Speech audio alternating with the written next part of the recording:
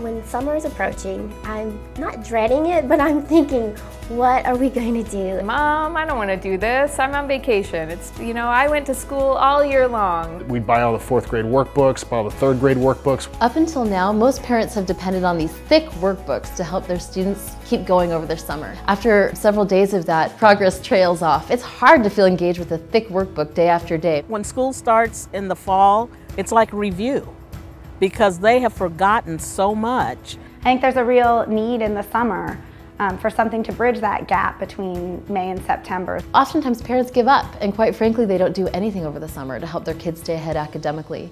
The solution is Brain Chase, an easy way to help parents be able to personalize education for their students over the summer. Brain Chase is a five-week summer learning challenge disguised as a massive global treasure hunt for second through eighth graders. The animated adventure follows May Merriweather and her friends from the Grayson Academy of Antiquities who are hot on the trail of the Sunstone of Cortez. But this isn't just fiction. There's a real Sunstone of Cortez buried somewhere on planet Earth. If you guess its whereabouts first, you get to fly out and dig it up yourself. Just complete an hour of online learning each day to unlock the clues about the treasure's location.